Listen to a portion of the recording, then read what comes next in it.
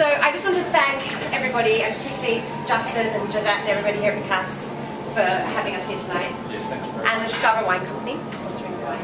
And just Alex, I'm going to hand over to you. You're going to hand it over to me? Okay. Yay. Thank you, thank you very much. Okay, I wasn't quite... Um, so again, thank you very much for coming. If I can, I'm just I'm going to do a little demonstration later. Um, so I'll kind of let the um, food show you more about how the book works entirely. But I just to um, explain to you how I got started with this book. It came and has ended like a sort of an open letter of answers to questions that I've been asked over 15 or 16 years of teaching people how to cook.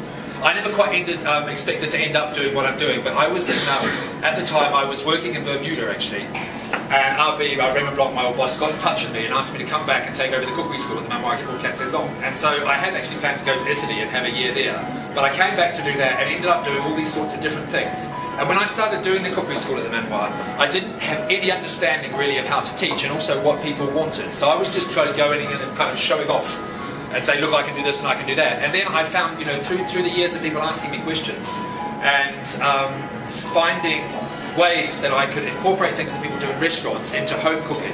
And also taking away the stuff that I felt um, wasn't entirely necessary. And then before I did this, I sent out um, emails to about two or three hundred people and um, asked them what they you know really wanted in a cookbook. And interestingly, think just this, this is just something. Ninety-five percent of people, the most important thing for them was to have a photograph of the finished dish.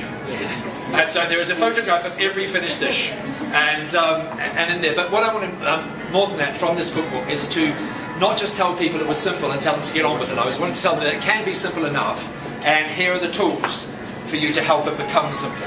And for me, um, really, in lots of ways, the main thing is just to get everything ready before you start, so you don't have to look for everything while you're cooking. And so I took things like that throughout it, but then it kind of developed and grew because originally this was going to be three books. But my commissioning editor very cleverly said, no, no, we'll turn it into one.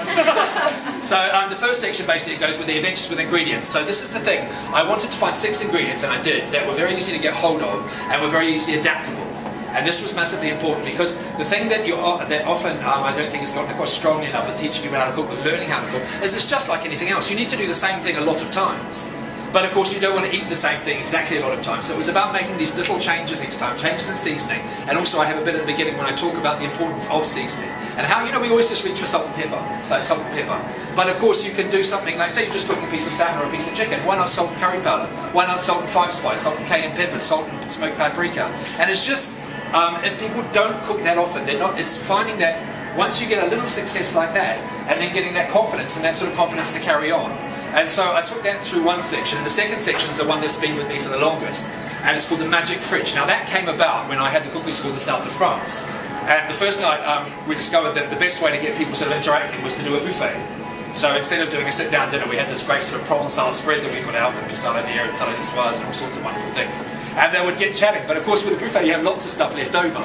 So I had this fridge behind me when I was demonstrating. I had bits of roasted peppers, bits of pesto, bits of tapenade, um, bits of all sorts of bits of salad niçoise actually that would turn into a pain bagnat. And I used to call it my magic fridge because someone would say, what about we do this? And because their time was very loose in Provence, we never really had to go by any sort of rules. And I would just grab things from it. So that has gone and developed now for over sort of 12 years. And the last one in a way, because see, I, um, I always joke, I was brought up during the war, you see, so I hate to throw things away. I, I really can't stand it. And what I want to do is to find a way of, um, of, of what's that? Which war? I was the, the first Gulf War.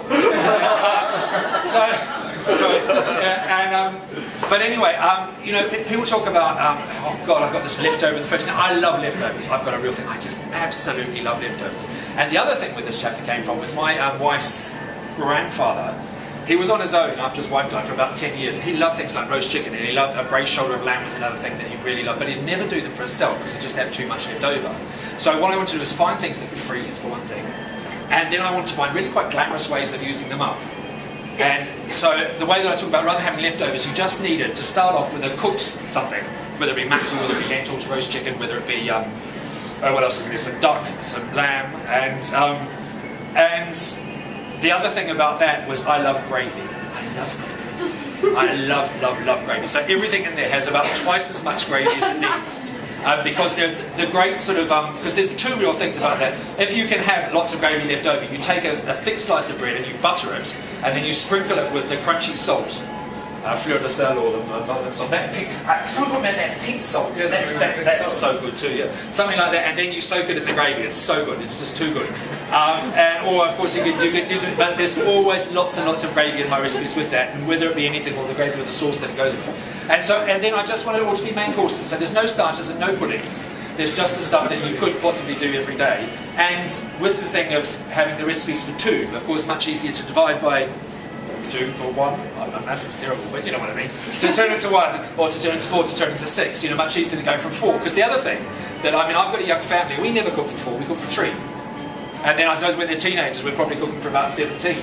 So it's um, you know it's very rare that you actually cook for four people. I suppose if you uh, you know sort of do that kind of couples thing, but I'm not sure how that works here. But anyway, um, and that's it really. So what I'm going to do is I'm going to hand you over to Justin then, and then um, you, we're going to give you some more food and some more wine, and then I'm going to do a little demonstration, and then I'm going to shut up. no. Really? In that order? Oh yes, book, books.